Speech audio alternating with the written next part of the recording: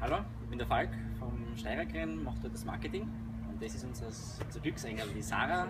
Wir ziehen jetzt endlich die Gewinner vom Gewinnspiel. Womit fangen wir an? Erster oder zweiter sagen, Platz? mit dem zweiten. Da machen wir den zweiten Platz. Wir verlosen ein Wochenende in der Therme Bad Waltersdorf.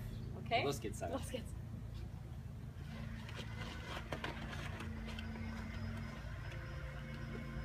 Okay, Und wer hat gewonnen?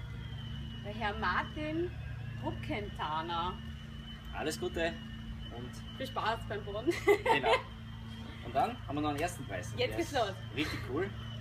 Einmal New York, gell, für zwei Personen. Und Retour, oder? Genau, in eine Grennmetropole äh, in Übersee. In Übersee. Du darfst wieder ziehen. Ah, die muss ganz unten rein. Bitte schön. Den haben wir da.